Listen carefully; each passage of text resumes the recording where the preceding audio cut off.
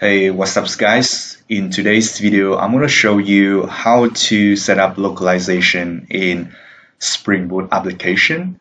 Uh, here's what we are going to build. We're going to build a simple application that has this uh, greeting API that uh, have the response in languages based on the headers of the accept language. So here's a little demo uh, as you can see I if I don't include the accept language in the header it's gonna uh, respond in hello. But if I what if I have it accept language and the value is French I'm gonna have bonjour. And let's try another language. Let's say Vietnamese. V and we got uh, Xin in uh, greeting. So how cool is that? So now we're gonna build it. Now first things first, uh, I'm gonna create a Spring Boot application. Uh, I'm gonna select uh, Gradle and the Spring Boot 3.0.2 and I got uh, artifact is locale and uh, you can uh, name whatever you want and I selected Java 17 and uh, the only dependencies I need for this project is just Spring Web. Now let's uh, just uh, generate it.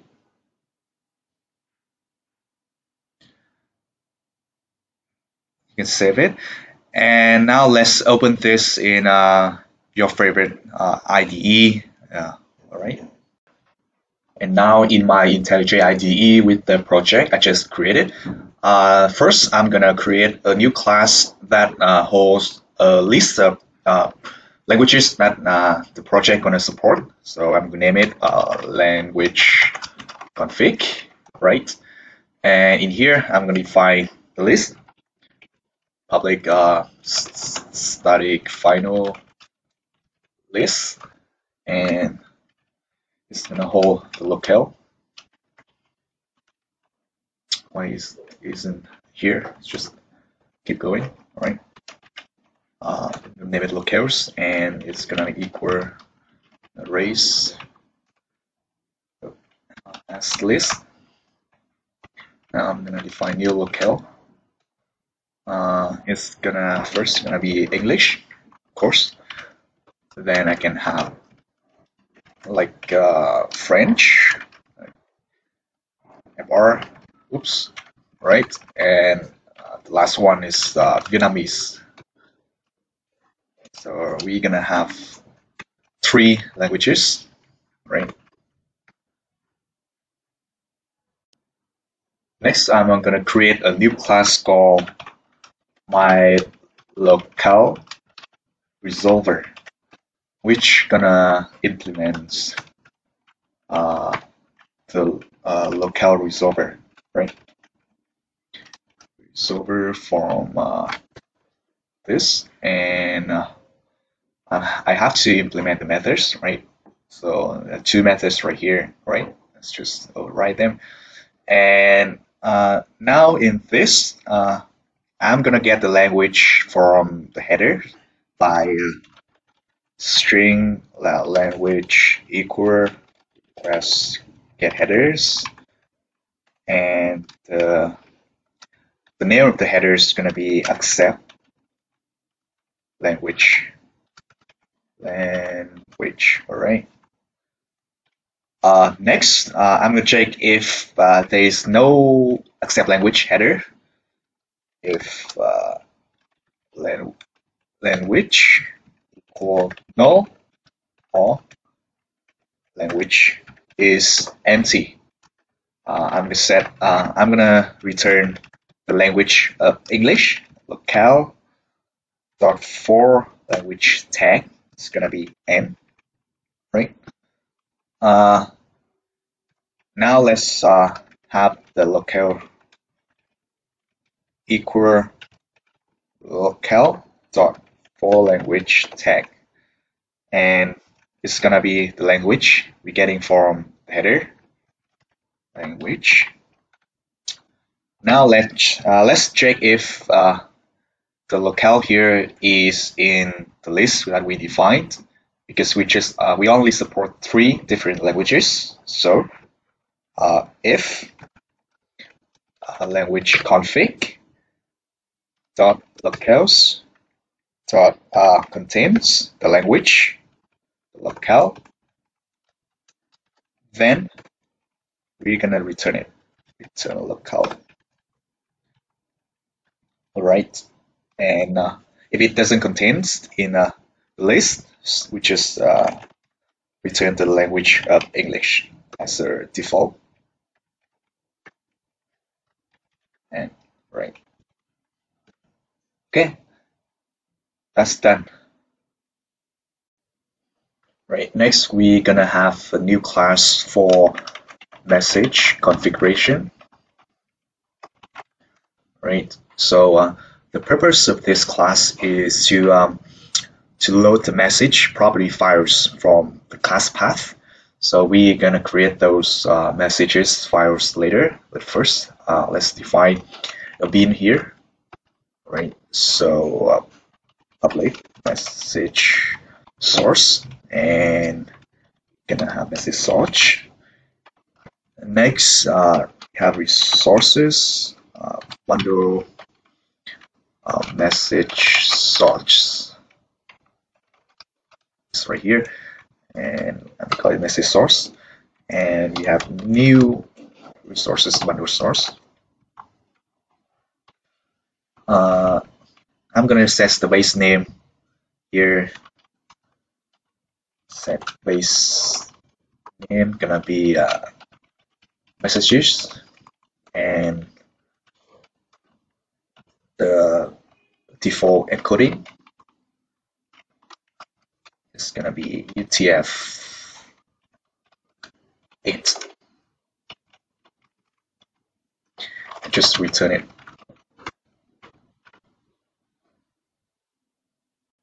Now let's create uh, those uh, messages file for in the class path for each individual language. So uh, you can see here is uh, the file uh, is gonna be in the resources and uh, I'm going to create the English file first. It's gonna be messages messages because we set the base name is messages, right?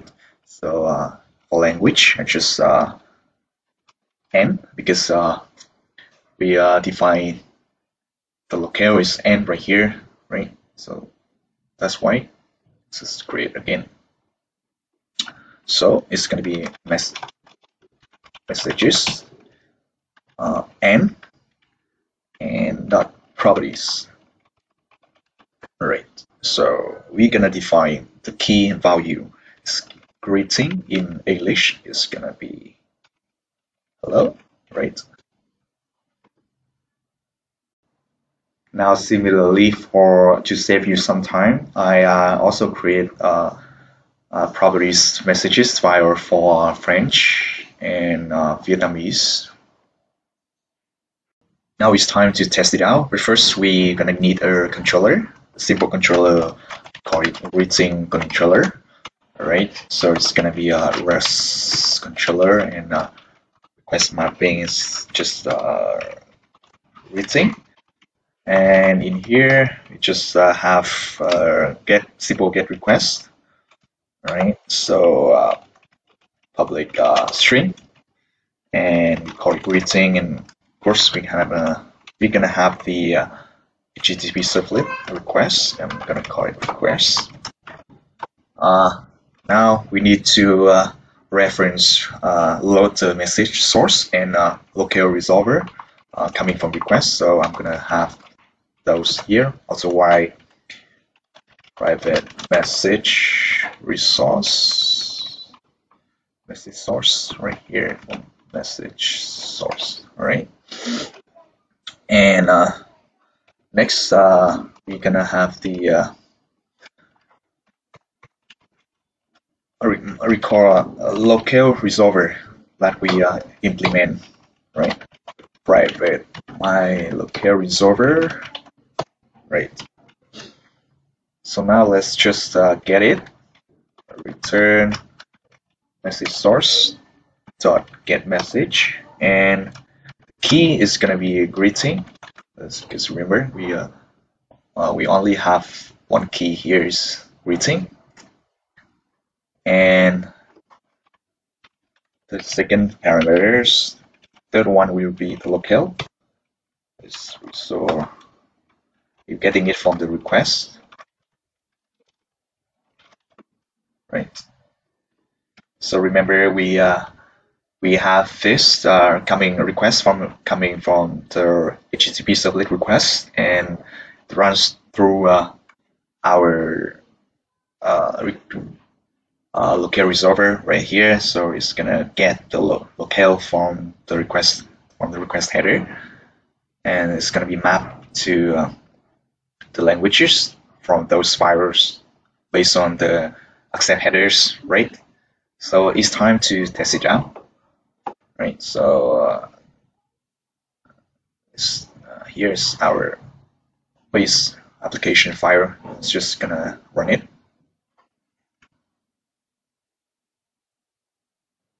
now after run it failed several times I realized I uh, forgot those uh, configuration annotation here's in the my locale resolver and uh, also in the message configuration. So it doesn't load those beans when project is started. So now the project is started in the port 8080 so now let's uh, give it a test and here you can see uh, when I have the accept, accept language for French it's going to return bonjour and if uh, no accept language is given it's gonna be the default hello. Uh, let's uh, try for Vietnamese.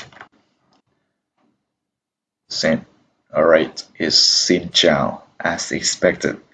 Alright, so that's it for the video. I hope you uh, learned something new today and uh, see you next time.